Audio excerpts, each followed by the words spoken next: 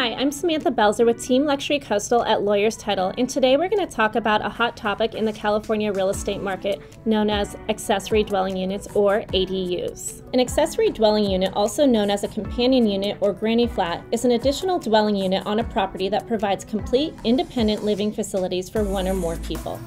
Think of an ADU as having a second small dwelling right on the same property as your regular single family home. Any home that is zoned single family residence can build an additional dwelling unit. There are three types to consider. Attached unit is attached to the primary structure, for example, a basement apartment. Detached unit is separated from the primary structure, for example, a small cottage. A repurposed existing space with a primary residence that is converted into an independent living unit, for example, a garage conversion. If you're thinking about building an ADU, keep in mind that the laws in San Diego are different than the state. So here are some things that we think are important when building an ADU on your property in San Diego.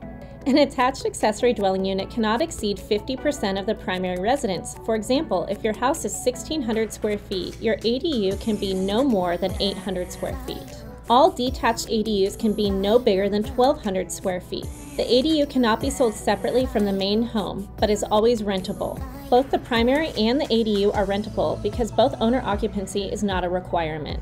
There are parking regulations for most of the ADUs I discussed, but if you meet a list of the requirements, you do not have to provide it. For example, if you live in a historic district or live near public transit. Most importantly, if you're thinking about using your ADU as a short term vacation rental, I'm sorry to say, but you cannot. By law, ADUs shall not be used or rented for less than 30 days.